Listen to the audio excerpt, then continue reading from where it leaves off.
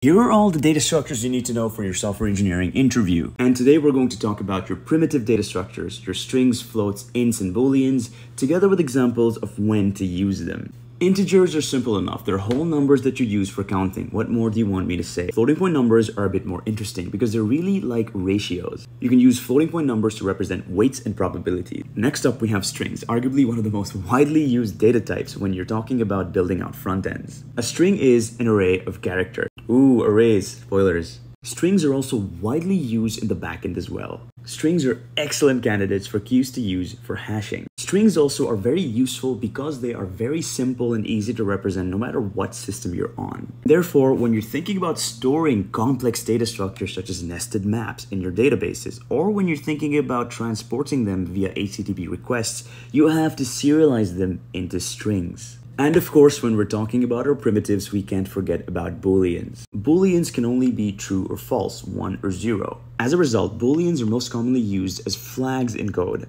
Anytime you're thinking about logical conditions in your code, you're going to have to use booleans.